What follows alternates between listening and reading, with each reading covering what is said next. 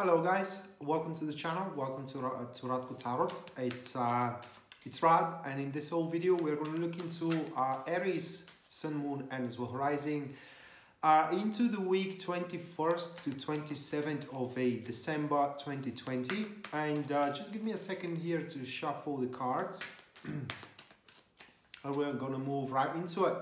But before that, uh, just to let you know that there is a, a flash sale on the tarot classes. You get 50% off and it is um, for the duration of the week. So, uh, and as well, it's, it is a exclusive thing for the Facebook followers. So for that being said, in order for you to take advantage of the sale, just follow me on Facebook. You can find a, the link for the Facebook page down below and uh, just give me a message on the Facebook page and I'm going to provide you with a link uh, of 8 50% of the tarot classes. So with that being said, moving to the uh, weekly reading for Aries, first one that we do have for you guys that is going to be Two of Pentacles and that describes the very topic of, uh, of the week followed by the Five of Cups, which stands as the uh, energy which is feeding up and supporting the topic itself.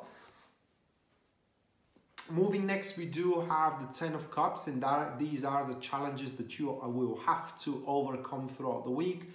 Furthermore, we do have the uh, Queen of Wands, and they, these are the gifts and the blessings that you get to enjoy throughout the week. Moving next, that will be the impression of those that are around you, how people see you when they look at you. That is the Fool. Afterwards, we do have the obstacles which uh, are going to hold you down and back as well. Uh, that is the Two of Cups, or of Wands, I'm sorry. So we do have Two of Wands. Is it visible? I guess so, yeah. Uh, moving next, we do have the positive aspects of the week which are going to push you forward here. And that will be the seven of pentacles. And the last one we have for you that will be the nine of wands. And uh, that describes the uh, overall message of the cards or rather like the guidance that tarot has for you. So those eight cards if you can just give me a second here. Um, so right so those eight cards. These eight cards I never could I, can't really grasp on the difference in between these and those, so I'm sorry if I'm not using the appropriate term. Uh, right, so uh, what we have here, it's um, rather pretty, pretty easy week that you are gonna have in front of you. Uh, the only problem that uh, you may encounter throughout the week is really to draw a line, you know, how much is enough. That that would be some kind of an, an issue of yours. Not really in, uh, an issue, but more like an, a lesson to learn, you know, when it is enough that you are to feel fulfilled or satisfied by the achieved, you know, or by the possessions that you are to acquire and so on and so forth. Uh, but let's move to the first two cards here that we do have for you Aries. That is to be the Two of Pentacles and the Five of uh, and the Five of Cups.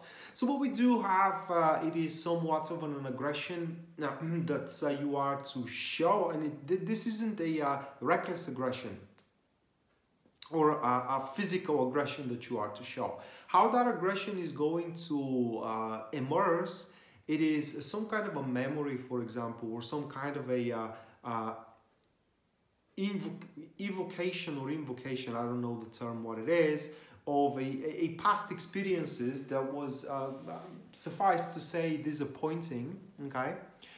And uh, because they were disappointing, you are going to start feeling the necessity to make it up, to make up for it. Uh, not necessarily with similar situations, but with some kind of a situation. For example, you know, saying to yourself, I'm not going to be the loser anymore, something like this and that will provoke the uh, very topic of the week which is described here by the two of pentacles. So uh, in your case these are the the dynamic interactions that you are going to incorporate in terms of career or in terms of relationship. And the two of pentacles really will stand of how you do adapt to the situation uh, and being able to as well do uh, much with less.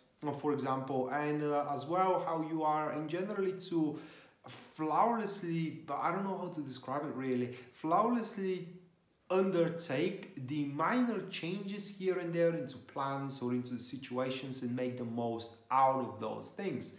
Uh, that's uh, some kind of a concepts as well that you may have right now are going to change and uh, by the change of those concepts you are to see that there that the possibilities in front of you are far greater than uh, you have initially anticipated. Uh, next card here it is the challenges that uh, you are to overcome throughout the week and that is the 10 of uh, the 10 of cups. So uh, 10 of cups is what I said, you know, when exactly to draw the line here, it will be the question that you will need to answer. For the 10 of cups, for you, uh, as a challenge sits of, uh, you know, what is enough for me to make my life either all of a sudden or slowly progressively start worth living again. Uh, and uh, that is uh, overall stigma of the card or, or maximo of the card if you will your life may worth its while right now but it but there will be definitely within the week something that is going to make it worth even more of its while and um, you know it will be important that you can answer that question to yourself how far i can go with it. Because uh, the challenge also it is like you have to learn when to when to hold your ground or rather like put some brakes on yourself. Because the 10 of cups you may not encounter it in too many books that are on the market. You know these days tarot books are meant for money and not for knowledge sadly. Uh, but 10 of cups holds really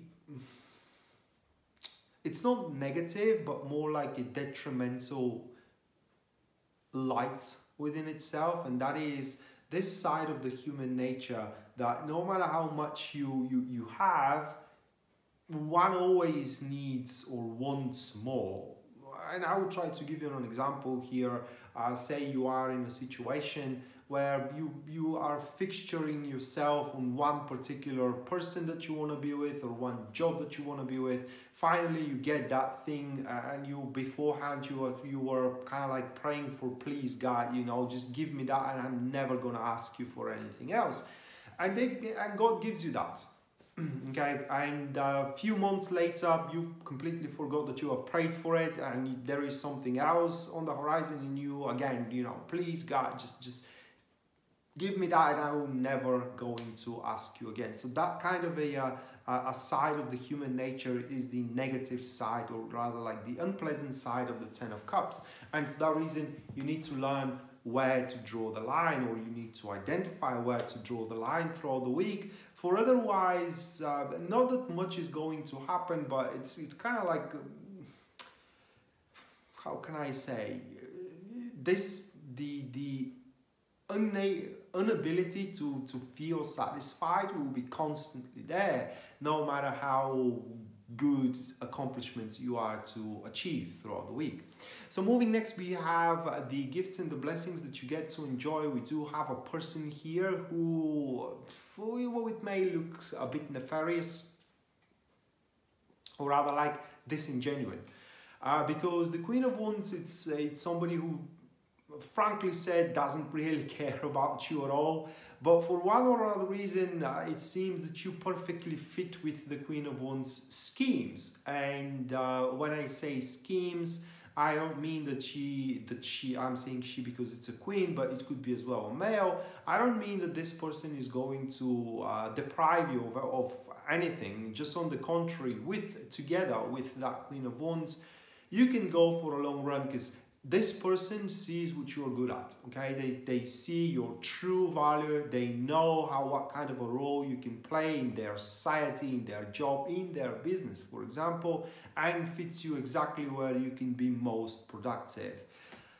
Uh, as well uh, that, that is in terms of business. But if we're talking about in terms of relationships that could, relationship that could be this handsome person that you always straight strived for type of an individual that you have always strived for and for what it seems throughout this week you are going to have the luxury if you want to say it that way to be with such type of an individual. What you need to know about the wands though the, the court of wands it is that they are completely driven by their ambition and by their interest. And if you decide to engage into such a relationship with a wand type of person, you gotta be pretty interesting, okay? They do not settle for calm and peaceful and how can I say, uh, structured certain life. They want excitement, they want constant enterprises, they want thrill as well, something that personally I would never settle for, okay? But people are different. Some wants to feel the butterflies into the stomach, you know, someone some people wants to feel the, for example, doing it at places where you can be caught, okay? These kind of stuff. So moving next, we do have the impression of the people around. Uh, that will be the uh, Fool card that we do have and that could be one of the reasons why the Queen of Wands kind of like fixture itself on you. And that is because with the Fool card, people are going to, when they look at you, they're going to see very sincere and very open person to explore new horizons, new relationships, new opportunities in general, new jobs, uh, also, people are going to see you very spontaneous, that you do not hold anything within. Now, that may not be true, all right? You may have a big secret, for example, or kind of like gnashing your teeth, not to say something that is going to cause rather big predicaments. But people don't see that. They only see a person who speaks their mind, person who is very spontaneous as well, somebody that is scampering around, trying to learn this and learn that, you know, this kind of like a uh, uh, unpremeditated um, behavior that, for example, children have or, or people that are just assigned into a new environment, into a new place. And that is exactly how people are going to look at you. And also the other impression is that they're going to have is like you are kind of like catching up a breath, right?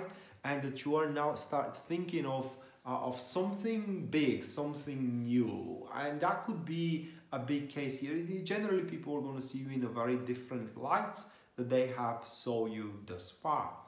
Moving next, we do have the uh, obstacles which are going to hold you back and down, and that is the Two of Wands. And here we are talking about aggression, and that correlates with the Ten of Cups to know when to put uh, the brakes. Okay, so you may be very aggressive and always want to push further and further for another thing and for the other thing and for the another thing and uh, never being able to to stop for a second look around and just enjoy your accomplishments. That that's all.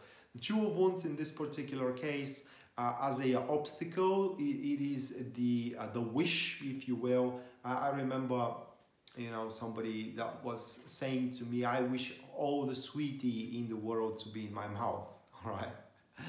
When we were kids but uh, my point is that the aggression to want something to be accomplished all the time is to deprive you to enjoy the result of accomplishments because you are going to be always on the move other way, uh, otherwise.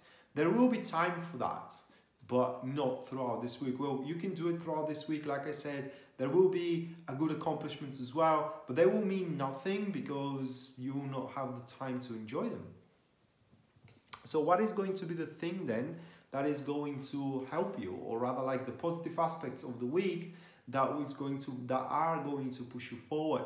We do have the 7 of a pentacles. So with the 7 of pentacles those are your very keen mental abilities to be able to always see does certain uh, certain oh my god the word just jumped out of my mind um, no resources. Oh my God, resources. Um, wow, I just lost my mind. Investments, right? So certain investments are going to worth it. Uh, every time, for example, when somebody approaches you with uh, a proposition, say, do you want me and you to kind of like participate into this deal. And when you learn what the deal is all about, you will kind of like have an idea, pretty good idea, the only good idea, is that deal really worth worth its while or not? Or somebody asks you out, you will know exactly how you stand, that will come from within, Uh, for example, somebody asks you out and you know you go out and you see that that could be just a friendship. It could kind of like transform into romantic relationship and so on and so forth. So important thing here with the Seven of Pentacles is truly giving yourself a time to uh, not to rush the things through because with the Seven of Pentacles, some uh, people or in generally you Aries, you have to um, kind of like uh, find yourself in a calm place or in a calm environment so you can think carefully over the uh, over not the consequences but over the inputs towards income right? So how much you're going to throw in to how much you're going to pull pull out of it. And if you do that i mean if you do put your mind into work here instead of your heart um, nobody will be able to mess around with you or to screw you around. And another thing that's the Seven of Pentacles, it's and that is very practical thing by the way. It is that uh, some kind of an event is looming. Um, it, it's kind of like not looming, but behind the corner. It's about to happen, and uh, you will have to put very serious thoughts into uh, into this event. The last uh, card that we do have, this is the guidance for you, Aries and that is going to be the seven, uh, the nine of wands, I'm sorry. So guidance wise here, that relates to the five of cups which we had, which is the uh, energies of the reading. And uh, it pretty much points that the experience you had, like I said, everything starts from this aggression of a uh, of past failures, right? But these past past failures, they do played a very big big role for you. These failures were not set to you to, to blow off so you can feel bad. Well, you felt bad, but you need to you need to to, to go through it so you don't feel bad right now, okay? Uh, something that I was constantly reminding because I I didn't have an easy life, okay, uh, up until I turned 28, just like many people in the world. But my my idea into, and how I look into it is that it's better to have a tough life when you are young rather than to have a tough, tough life when you are in mid-age or elder. So uh, yeah, the, these experiences, although negative or poignant, depending on how you look at them, they played a vital role and that is that you are not going to have those experiences anymore and you are proving that throughout the week by rearranging the plans and being able to take on a fly opportunities here and there and make from the small changes a huge opportunities so that being said, Aries, uh, thank you so much for watching. Hopefully you do enjoy the reading. Once again, guys, uh, for exclusively for the Facebook uh, following, uh, the tarot classes are on a flash sale and uh, in order for you YouTubers to take advantage of them, just follow me on Facebook. You're to find my page here in the description down below and there you just send me a message on the Facebook page and I'm going to provide you with a link where you can buy the classes with 50% off. So that being said, thank you so much guys and we're going to see each other next time. Until then, bye.